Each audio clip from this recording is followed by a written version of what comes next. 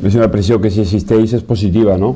És una pressió per intentar continuar sumant, per intentar continuar guanyant, per, per mantenir el nivell en un camp molt complicat, no? un rival molt, molt complex per, pel tipus de futbol que fa, per els recursos que té, per, per l'estadi, no? Vull dir, per tot, absolutament, un partit complicat i, bueno, si la pressió que comentes és aquesta pressió, la pressió d'intentar pues, mantenir el nivell de lo que estem fent bé, pues, bueno, és un repte, jo veig més un repte no? que una pressió. El fet de sempre és molt important en la situació que estem continuar sumant, venim d'una bona dinàmica, però demà ja això està oblidat i se tracta d'intentar, ojalà, pues, encadenar aquesta tercera victòria que de moment no l'hem aconseguit, no? El que sí que està clar és que fallis el plantejament que fallis, si no aconseguim atacar, eh, ho passarem malament.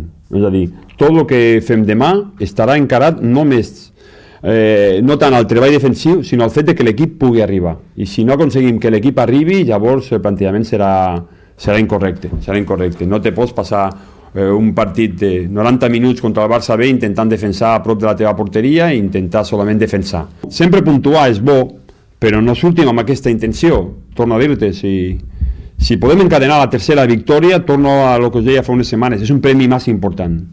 I continuar amb aquesta dinàmica de victòries realment no té preu.